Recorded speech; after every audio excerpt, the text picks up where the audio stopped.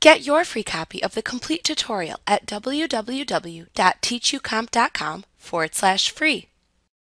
You can create an accountant's copy of your company file to give to your accountant should they ask for one. When an accountant's copy is created, you can still use your company file and import changes made by your accountant in the accountant's copy back into your company file later. This gives you more flexibility for data entry than the portable company file option does. To create an accountant's copy of the currently opened company file, select File, Send Company File, Accountant's Copy, Save File from the menu bar.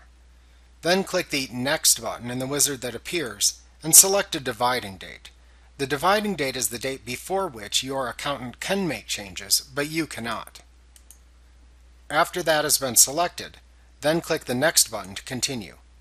At that point, select the removable media to which you will be saving the copy,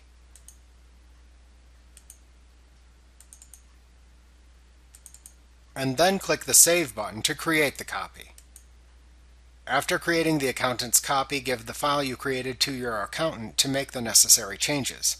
At this point, your original company file will display text that says Accountant's Changes Pending within its title bar.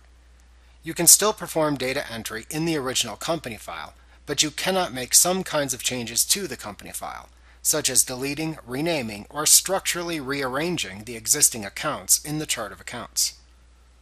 Like what you see? Pick up your free copy of the complete tutorial at www.teachucomp.com forward slash free.